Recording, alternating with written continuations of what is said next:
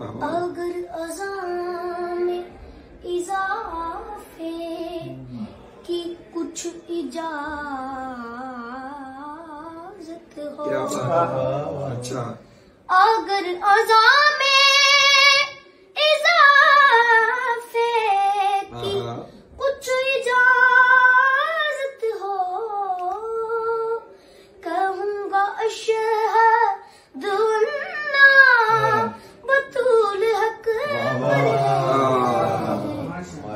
加班，加班。